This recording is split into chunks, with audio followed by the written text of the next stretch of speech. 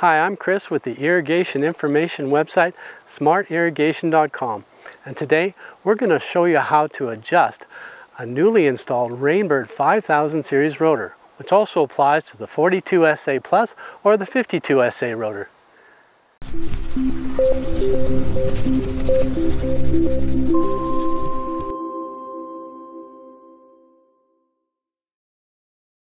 Before we go any further, it's important to note that the adjustments in this video is only for newly installed Rainbird 5000 rotors. And if you want to adjust an older rotor that's been in the ground for more than a couple weeks, please refer to our video linked in the description below on how to adjust a used rotor. Here we have a Rainbird 5000 series rotor. This one has three holes on top. If it was a 5000 series plus, it would have another one in the middle that is a flow stop to stop the stream from flowing. Now we're going to pull up the stem using the adjustment tool, insert it in the pull-up slot and turn 90 degrees. And you can pull it right up. That allows us to locate easily right above the nozzle. The nozzle retention screw also can be used for distance adjustment of the stream. And this is the arc adjustment slot there. Now that I have the rotor pulled up, I can show you the components of it. So we have the case or the body that's in the ground. We have the riser or the stem. We have the turret, which is the part that goes back and forth. And we have the nozzle. These Rainbird rotors are left stop. That means when traveling counterclockwise, where they stop is considered the left stop. And that is not adjustable with a flathead screwdriver or the adjustment tool. The right stop is when it's traveling clockwise where it stops. That is adjustable with the flathead screwdriver or adjustment tool and it can be adjusted using this slot here. First thing we're going to do is we're going to set the left stop because the left stop impacts the right stop. So we always set the left stop first on the Rainbird rotor. So we want to determine where that is by gently turning to see which direction the rotor wants to turn in right now. Looks like it wants to turn to the right. So we're going to go all the way over and click. Once we hit the click, we've hit the right stop. And then we go counterclockwise back to find the left stop. And it clicked here, so that's where it is. Now this new rotor has an installation feature called a slip clutch. This disappears after about a couple weeks, so do not use this method on an older head that's been in the ground used for more than two weeks, or you could damage the gears. So now we've hit the slip clutch, we can turn past the left stop gently and it will slip into place where we want it. Now we've got the left stop determined. We can go back clockwise, find the right stop, and the left stop is there.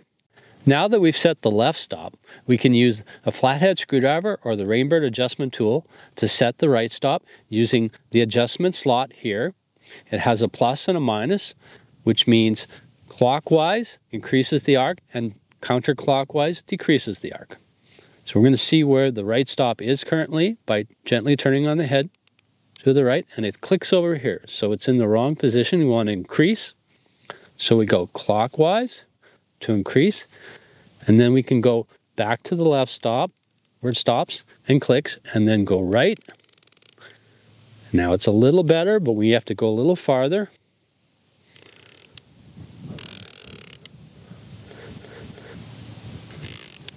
And there we have it. Now we've rough set the head. The next step is to actually turn the water on and check the exact location of the stream and fine tune it while the water is running.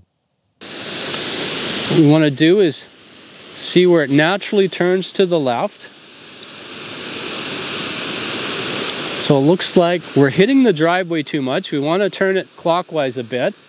Unfortunately, we cannot use the slip clutch feature when the head is running. It only can be used when the water is off or you could damage the gears. So we have to actually try using a wrench on the base.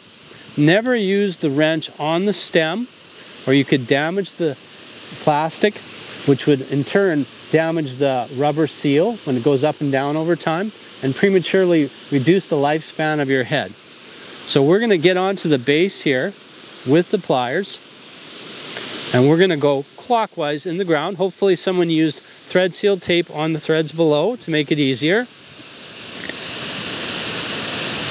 And it is turning in the ground. So we'll see if it's on target.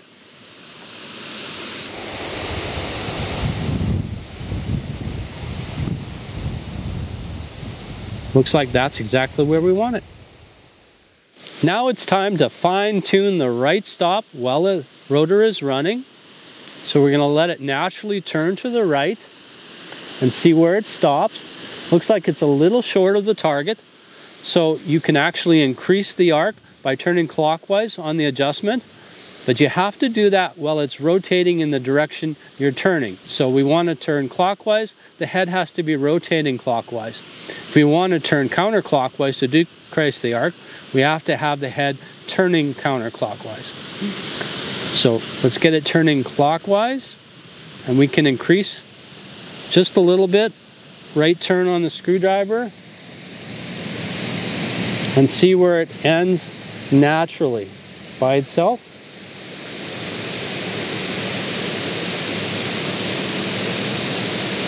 Just a little bit more clockwise. So I'm going to go all the way to the left, click over, and then let it travel right.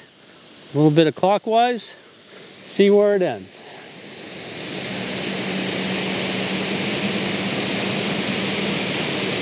And that is right on.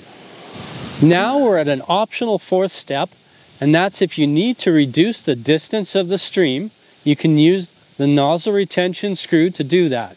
Now we recommend you only do that up to 25%, or if you need to do more, get a different nozzle, one with a lower distance or a low angle, and that would be an easier way to do that. So what we do is we go in here and we turn clockwise on the nozzle retention screw. You want to get the adjustment tool or the flathead screwdriver in there and it's going to actually push down the stream. Try not to stop the head from rotating so we don't want to damage the gears. So do it quickly. And we're going to push down the distance of the stream. And looks like that would do it. Well, there you have it. Now you know how to set a newly installed Rainbird 5000 rotor, which also applies to the 42SA Plus or the 52SA rotor. And if you want more smart irrigation tips, check out our website at smartirrigation.com and remember to hit like and subscribe.